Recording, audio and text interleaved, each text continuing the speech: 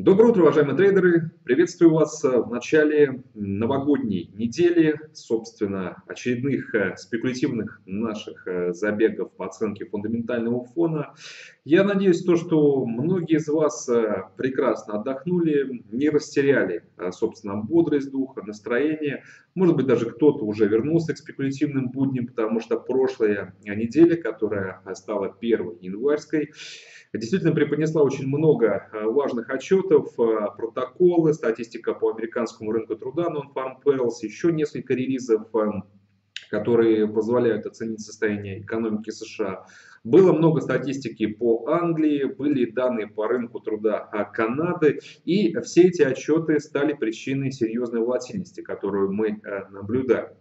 Э, может быть, э, скажем, статистику это уже отследили, знаете, с каким новостным фоном мы работаем. Но все-таки, чтобы заполнить все пробелы, я предлагаю, друзья, еще раз э, вспомнить, как мы начали этот год, посмотреть, какие идеи у нас актуальны, как мы торгуем дальше по долгосрочным ориентирам и что мы ожидаем от основных спекулятивных инструментов рынка Форекс, товарного сырья. И я думаю, что как ни крути, но нам нужно уже говорить в не меньшем формате еще и про рынок криптоинструментов, который а, продолжает расти по а, капитализации. Я бы даже сказал пухнуть, потому что сейчас в совокупности общая капитализация всего рынка криптоинструментов приближается к показателю, к баснословной цифре в 1 триллион долларов.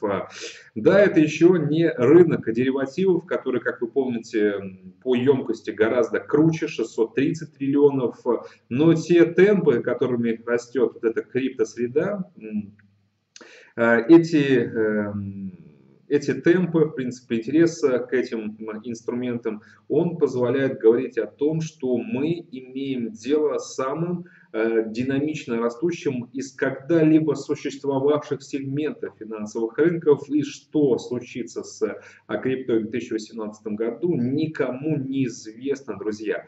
Я думаю, что э, те из вас, кто уже работает с каким-то отдельным интересным для себя инструментом, кто-то с биткоином, кто-то с эфиром, кто-то, может быть, делает ставку на суперзащитные эм, свойства Monero, кто-то работает с Ripple, который является преемником системы SWIFT, и здесь еще такой фактор надежности, потому что банки работают с этим инструментом.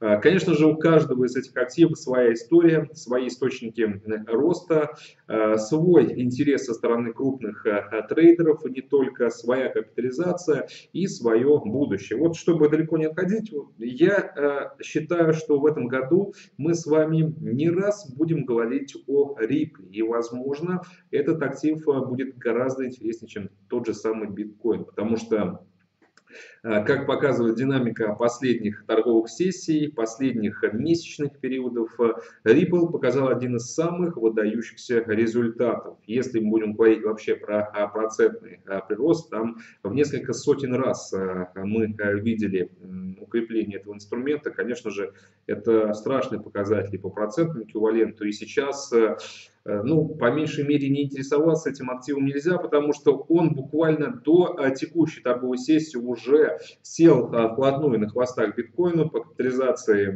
был меньше, конечно же, чем у биткоина. В частности, я вот выписал все цифры, 100 с небольшим миллиардов сейчас Занимал он второе место, но эфир после того роста, который последовал за а, последние часы, э, сейчас по данным Market Coin Cup э, находится снова на втором месте и потеснил Ripple до третьей позиции. Ну, то ли еще будет, друзья. Ripple сейчас подкатил, я думаю, что если мы будем в ближайшее время наблюдать э, укрепление этого инструмента до 5 долларов, что более чем вероятно, есть ориентиры гораздо выше, то, конечно же, он уже по праву закрепится как минимум на второй позиции позиции, а то ли с еще, скажем, большим ростом, я видел даже цели в районе 50 долларов, будет претендовать уже, чтобы сбросить даже биткоин с первой позиции по а, капитализации. Все может случиться с криптоинструментами, друзья. Я думаю, что мы, будучи фундаменталистами, конечно же, не будем упускать важные события, я обязуюсь держать вас в курсе. Ну и также давайте не будем забывать, что у нас есть еще и традиционные активы, на которые мы э, обязаны обращать внимание, потому что рынок крипты – это один из сегментов финансовых инструментов, но есть все-таки более надежный, более общепризнанный, более подверженный Э, законам классическим спроса и предложения, может быть, э, рынок с большим количеством фундаментальных э, событий, с регуляторами, которые отвечают за политики. Это, конечно же, рынок Форекс, рынок валюты, о котором мы и говорим. Ну, думаю, хватит с лирическим выступлением. Давайте непосредственно перейдем теперь к тому, что у нас сложилось на рынке нефти. Как и всегда, каждый день мы будем анализировать данный сектор и смотреть за тем, что на нем происходит. 67.75 это закрытие прошлой недели торговой сессии пятницы, а сейчас те же самые уровни, говоря про а, в целом вот эти пиковые значения, это апрельский максимум аж 2015 года, сейчас уже 2018 год, можно говорить уже о многолетних максимумах, и интерес к этому активу присутствует, и с каждым днем мы видим то, что длинная позиция, совокупный лонг становится все больше и больше, потому что на рынке рынке э, сложилось устойчивое мнение о том, что рынок нефти идет исключительно вверх, это полноценное развитие восходящего тренда, и пока что рано ему еще а, сворачивать. И, соответственно, рано на рынок возвращать э, медведей. Напомню, что долгое время, уже конца 2017 э, года, заключительной торговой сессии мы с вами следили за тем, как развиваются события вокруг вот, подрыва нефтепровода в Ливии, как развиваются события с Фортис Симпсонс, это нефтепровод в Северном а, море. А, в обоих случаях были проблемы, которые стали причиной, собственно, остановки транзита, общие, под общей угрозой нехватки предложения на глобальном рынке за счет того, что через эти э, нефтепроводы проходило в совокупности примерно 550 тысяч баррелей в сутки, конечно же, возникли риски того, что э, это может привести к определенному дефициту, это создало дисконт того, как, э, собственно, работать с нефтью, премия за риск, которая тут же была заложена цену. Тогда, когда котировки нефти росли, мы знали, что есть конкретные сроки, когда эти нефтепроводы будут восстановлены.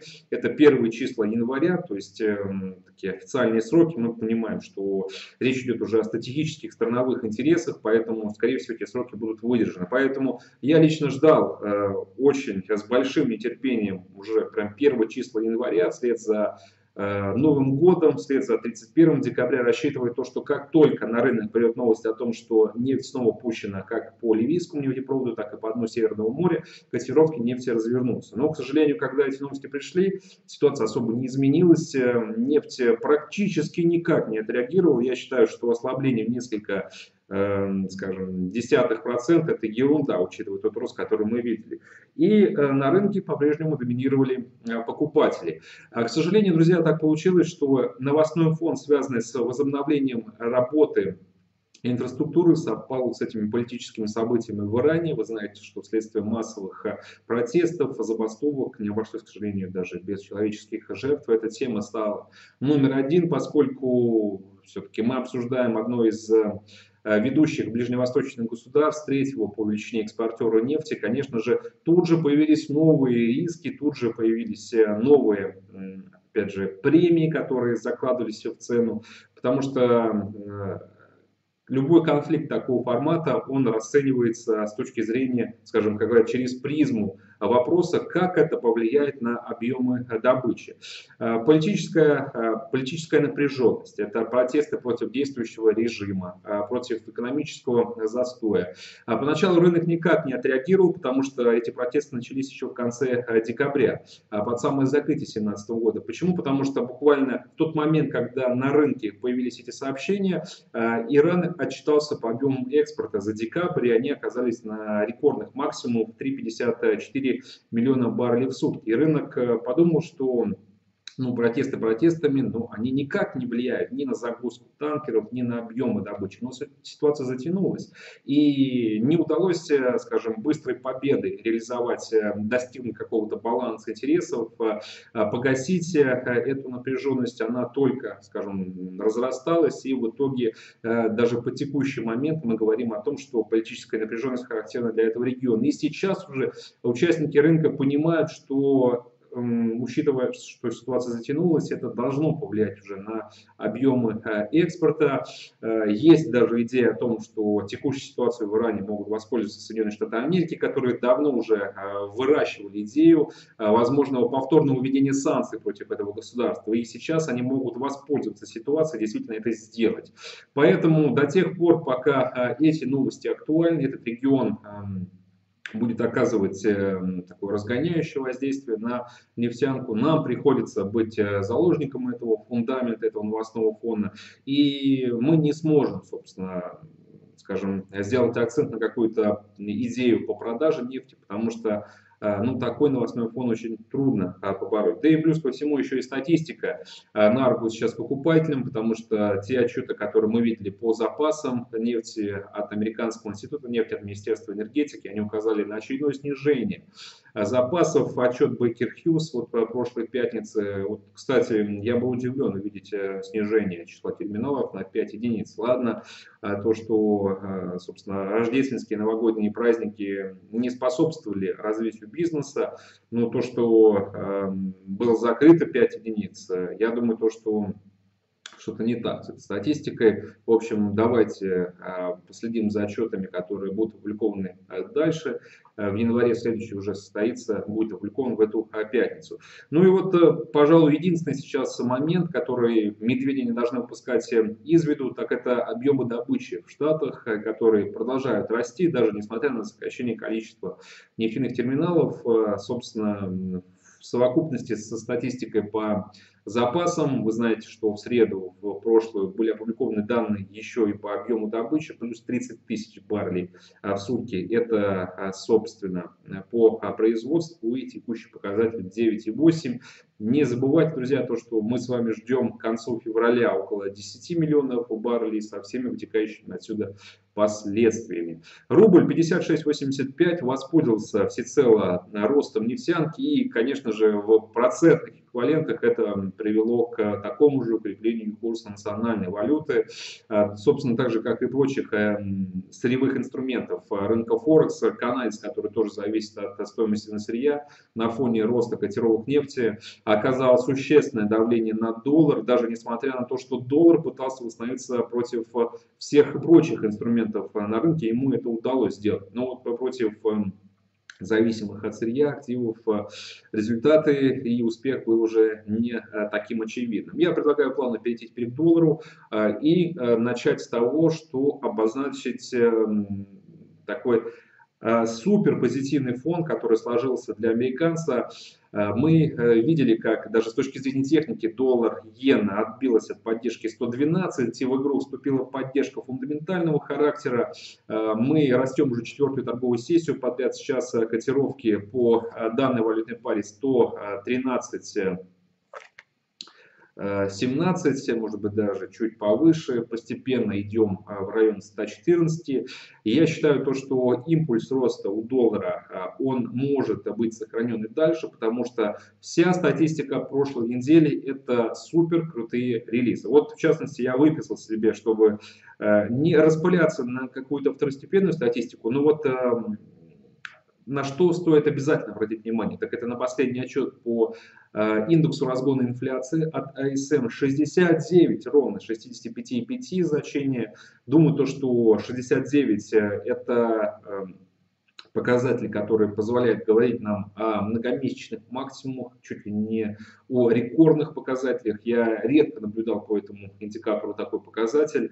АСМ в производственном секторе 59,7 с 58,2 тоже. Даже просто то, что показатель держится выше 50, это позитивный момент. Но 59,7 это явное доказательство того, что производственный сектор растет. Non-Farm Payrolls, которые у нас были опубликованы в пятницу, до этого а, их эм, скажем, статистику эту отчасти предопределил еще отчет ADP, частная оценка состояния рынка труда плюс 250 тысяч у нас. Мы позитивно э, настраивались э, в отношении официальных данных, но они немножко разочаровали, потому что количество новых рабочих мест э, не дотянула даже до прогноза, был прогноз на отметке 190 тысяч, а фактическая цифра 148 тысяч. Ну, уровень безработицы, друзья, по-прежнему находится на максимальных, точнее на минимальных значениях за последние 17-18 лет, 4,1%. Э, какой вывод мы делаем из того, что уровень безработицы держится на таком низком значении? То, что занятость, она фактически максимальная, практически э, максимальная в Штатах. То, что работодателям становится все труднее и труднее находить э, новых рабочих, а соответственно, как я уже неоднократно говорил, здесь в игру вступают естественные механизмы конкуренции за хорошие квалифицированные кадры, и эти механизмы предполагают эм, создание более лучших условий оплаты труда. То есть э, тот самый рост заработных плат, на который мы с вами очень долгое время рассчитывали, продолжаем надеяться даже сейчас, и то, что должно тащить локомотивом весь сектор американского рынка труда. Зарплаты 2,5%. Я думаю, что в годовом выражении, да, это не максимум, который мы видели в середине прошлого года, там у нас были значения в 2,8, 2,9, но все равно неплохая цифра, медиана выдерживается растущая, в месячном прирост на 0,1% с 0,2 до 0,3%. То есть в целом статистика это, пожалуй, первый момент, на который мы должны обратить внимание э, и принять то, что на таком фундаменте доллара есть хорошие шансы, чтобы вырасти. Протоколы последнего заседания американского регулятора, друзья, это важное событие для доллара, для перспектив американской монетарной политики, потому что протоколы уже с учетом принятой налоговой реформы позволяют нам понять, изменилось ли что-то в общей позиции э, Федеральной резервной системы по поводу того, что будет со ставками.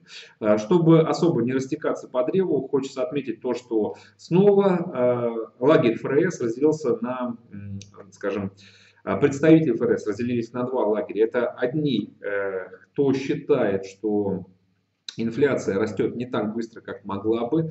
Э, причин, э, к сожалению, э, очень мало, да и вообще ФРС сам затрудняется ответить на вопрос, почему инфляция все-таки не растет при том фундаменте, который на рынке сложился. Но вот данный лагерь представителей ФРС считают то, что раз нету устойчивых ожиданий роста инфляции, значит и нету четкой убежденности в том, что темпы повышения процентной ставки должны быть высокими. И другой лагерь, к которому отношусь, э, скажем, и я, ну, в данном случае, конечно же, э, заочно, что та налоговая реформа, которая была принята, будет оказывать э, исключительно оздоравливающее воздействие на экономику. Если мы говорим и рассчитываем на то, что прибыли корпорации могут вырасти на 10%, мы понимаем, что это ну, ну, не сможет не сказаться и на активности потребителей, потому что косвенным образом через улучшение состояния э, компании за счет того, что у них будет высвобождаться большее количество ресурсов, они будут направлять часть средств и на фонд оплаты труда. То есть здесь причинно-следственная и логическая связь, на мой взгляд, очень очевидна. И в надежде на это, в расчете на этом, такие четкие экономические Э, следствия представители ФРС считают, то, что налоговая реформа будет способствовать постепенному росту инфляции. Поэтому темпы повышения процентной ставки должны оставаться довольно высокими. И э, в целом, что стоит отметить, в чем сошлись представители ФРС, то, что ставки нужно повышать, конечно же. Только вопрос в том, сколько раз это повышение случится в этом году. Часть представителей ФРС считает, что 2-3 раза, кто-то считает, что есть даже возможность увидеть и четырехкратное повышение процентной ставки. Я думаю, что о количестве, опять же, этих действий мы сейчас с вами спорить и рассуждать не будем. Самое главное то, что вектор политики остается э, в сторону повышения, в сторону ужесточения. Э, и, соответственно, это позитивный э, такой фундамент для доллара. Вторая причина, почему американца стоит рассматривать с точки зрения э, покупок. Ну и в целом, опять же, налоговая реформа – это первая политическая инициатива, которая была реализована. Я думаю, что про нее мы будем говорить, друзья, очень много. Посмотрим, как все-таки действительно корпоративный сектор адаптируется к этому. Ну, судя по тому, как растет американский фондовый рынок, я думаю, то, что позитива, позитиву нет конца, потому что, посмотрите, последние 4-5 э, торговых сессий S&P это сплошной рост без каких-либо откатных движений. Действительно может сложиться ощущение, что э, S&P как э, основная бенчмарка фондового рынка идет на 3000 пунктов.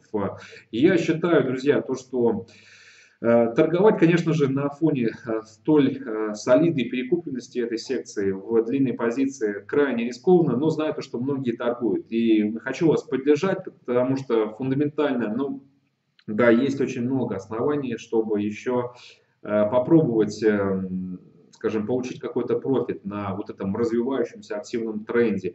Но сам факт перекупленности мне как фундаменталисту, то, что в американский фондовый рынок вкладывают даже домохозяйки, которые э, понятия не имеют, что это такое, понятия не имеют э, что является костяком этого индекса, какие сектора, собственно, он характеризует, что в него входит и почему эти компании должны расти, э, собственно, так же, как и почему индекс должен расти. То есть э, решения принимаются на основании того, что, ну, раз он растет последние несколько лет, значит, будет расти и в этом году. Какая-то логика в этом есть, друзья, я признаю. Ну, может быть, эм, как раз э, и мой чрезмерный э, анализ того, что происходит, и не позволяет мне сейчас получить легкие деньги, которые, может быть, кто-то из вас э, получил в прошлом году и собирается получить в этом.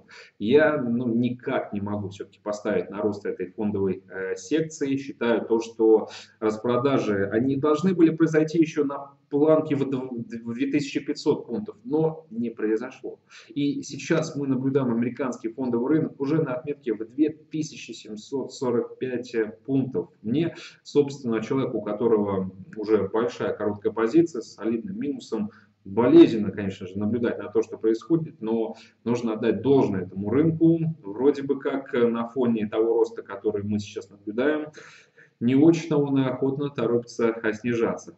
В целом, налоговая реформа и, скорее всего, дальнейшая реализация э, тех э, предвыборных обещаний, которые закладывались в основу предвыборной гонки Трампа, это еще и бюджетные расходы, это еще один фундамент, на который нужно сейчас опираться вместе с сильной статистикой и с планами ФРС повышать процентные ставки, опираться, чтобы покупать доллар. А, решать вам, конечно же, друзья, есть ли на этом основание, чтобы действительно поставить на лонг доллар японской иены. Но я хочу отметить то, что а, в начале прошлого года, вы помните, после победы Трампа, а, все ставили на то, что доллар будет расти против иены. Все, без исключения. И, в частности, какое-то время он действительно рос, а потом он повалился на 10% по итогу года. Если мы сейчас посмотрим на позиционирование, все считают то, что доллар будет э, падать. Я думаю, то, что это очередная рыночная ошибка, э, которую уже руководствуясь прошлым опытом, может быть и не стоит повторять. Поэтому здесь действует обратно, считают то, что у пары есть хорошие шансы на рост. Евро против американца полностью европейская валюта сейчас эм, реагирует на то, что происходит с долларом, слабость приводит к росту европейской валюты, соответственно, э, укрепление доллара к снижению. В частности, локальный максимум, который был достигнут, это практически сопротивление 1.21, 1.2088, если быть совсем точным. И вот э, в конце прошлой недели пошли распродажи на фоне роста доллара. Еще статистика по индексу потребительских цен немного разочаровала трейдеров, потому что инфляция снизилась с полутора процентов до 1,4. А базовое значение по-прежнему находится на крайне низком уровне 1,1. Евро сейчас э, будет копировать э, ну, с реверсом поведение доллара, и до тех пор это будет продолжаться, пока не состоится очередного заседания Европейского центрального банка, где мы будем в очередной раз слушать эм, Драги и в целом Европейский центральный банк и внимать план по поводу политики и низких процентных ставок и программа количественного смягчения. Вот только после того, как этот новостной фон Эм, будет проанализирован, у нас появятся дополнительные основания, чтобы торговать евро. Пока что, друзья, я думаю, что многие из вас уже воспользовались перекупленностью этого актива и нашли хорошие точки на продажу. Я сохраняю короткие позиции. А фунт против доллара.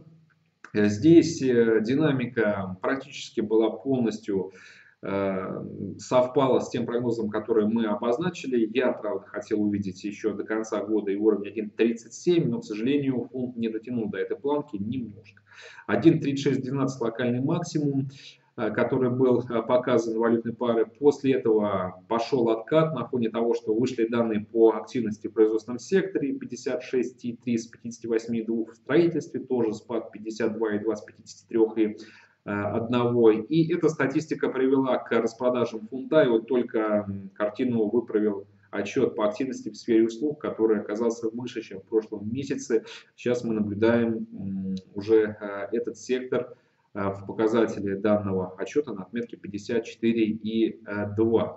Э, сектор услуг, э, друзья, как вы помните, это сектор, на который приходится большая часть экономического роста, поэтому, конечно же, ему удалось, учитывая хорошие цифры, развернуть трейдеров и снова убедить их в том, что фонд интересен для покупок. Сейчас котировки у нас по британцу 1.3560 я по-прежнему в длинной позиции, потому что даже несмотря на достигнутый хай, считаю, что у нас по-прежнему с вами хорошие условия, чтобы прокатиться до уровня 1.37, потому что даже если не статистика, которая в целом неплохая, уверен, то, что росту фунта будут способствовать еще и политические факторы, потому что буквально через полторы-две недели мы с вами снова вернемся к переговорам по Брexit и будем искать позитив там. Э, уже неоднократно этот э, фон оказывал поддержку британцу. Я еще раз э, делаю акцент на то, что уже пора бы договариваться. Затянулся процесс уже на год и в целом никаких серьезных таких прорывных моментов до сих пор нет. Надеюсь, то, что стороны, переговорщики это прекрасно понимают и будут достигнуты какие-то компромиссные начала, золотые середины уже э, в первом квартале 2018 года. Поэтому по фунту сохраняю бычий настрой и жду отметку 1.37. Ну и, друзья, еще пару слов про канадца. В целом мы про него говорили уже. Я отметил то, что основная причина роста канадца это восстановление цен на черное золото. Ну еще и статистика помогла канадскому доллару, потому что рынок труда, показатель безработицы снизился с 5,9 до 5,7%, а изменение числа занятых э, против прогноза роста занятых на одну тысячу мы увидели, точнее, фактическую цифру практически в 80 тысяч. Конечно же, очень серьезное расхождение. Даже не понимаю на фоне такого контраста, как вообще строятся прогнозы, потому что настолько не попадать в цель. Это, конечно же, для а, статистов, которые анализируют а, рынок труда изнутри, то есть видя все эти показатели. Но это, конечно же, характеризует их не самой лучшей э, стороны. Но ну, в итоге канадец, конечно же, приободрился. Сейчас э, пару юстикат мы с вами наблюдаем на отметке 1.2398, то есть на уровне 1.24. Я думаю, то, что в ближайшие дни я дам вам новую торговую идею, но э, в целом эта торговая идея будет направлена на покупку пар. Правда, нужно найти подходящий уровень для этого. Пока что канадец не собирается, собственно, отдавать лидерство доллару, даже несмотря на то, что доллар растет. И и из этой динамики мы делаем вывод о том, что на канадца оказывает напрямую влияние то, что происходит на рынке нефти. И если собственно, медведи начнут доминировать на нем в ближайшие а, торговые сессии, в ближайшие недели, то тогда мы а, получим разворот и по этому дуэту валютных активов. Еще хотел, друзья, несколько слов про крипту, но уже 27 минут мы с вами анализируем то, что происходит на рынке. Давайте начнем с криптоинструментов э, завтрашний брифинг, ну, то есть сначала про нефтянку, потом про крипту и еще про рынок Форекс, чтобы особо уже не затягивать. Друзья, как вы понимаете, я снова с вами, мы следим за новостным фоном. Большое всем спасибо, кто, несмотря даже на праздничный сегодняшний день, смог присоединиться к прямому эфиру, посмотреть за тем, чем мы работаем сейчас, освежить, опять же, Эм, отчеты э, прошлых недель, э, в целом фундамент, долгосрочные идеи.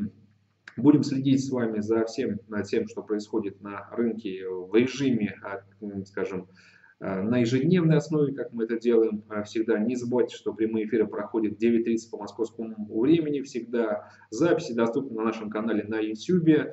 Там есть специальная рубрика брифинги. Если нет возможности присутствовать в прямом эфире, заходите тогда, пожалуйста, смотрите там, знакомьтесь с информацией. Я стараюсь, то, что она была максимально актуальна, чтобы помогала вам принимать торговые решения, не торговать э, точь в точь и, в принципе, делая то, что я говорю. Но все-таки это субъективная позиция, вы понимаете то, что ну, никто не знает, э, как э, поведут себя инструменты, но э, имея свою голову на плечах и знакомясь с позицией других трейдеров, я думаю, что конечное решение так будет более точные.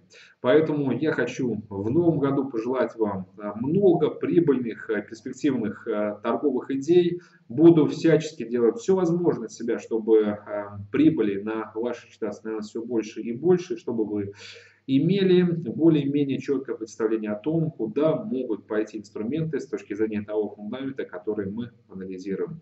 На этом все, друзья. Еще раз большое всем спасибо за внимание, всем, кто присоединился. До завтра. Всего доброго, до свидания.